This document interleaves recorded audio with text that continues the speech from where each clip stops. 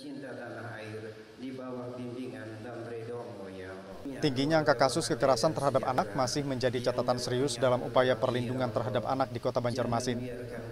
Menurut data Pusat Pelayanan Terpadu Pemberdayaan Perempuan dan Anak P2TP2A Kota Banjarmasin, dari Januari hingga Mei 2020, terdapat 30 kasus anak yang mengalami kekerasan, di antaranya 20 perempuan dan 10 laki-laki.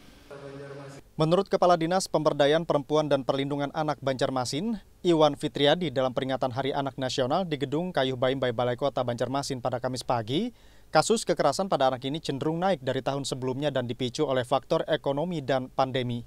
Makin tinggi angka pengaduan itu sebenarnya semakin bagus. Karena apa? Masyarakat peduli melapor.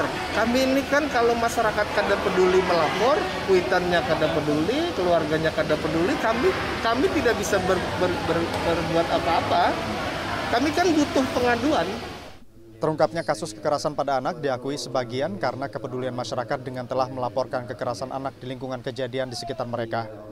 Muhammad Nafis, Kompas TV, Banjarmasin.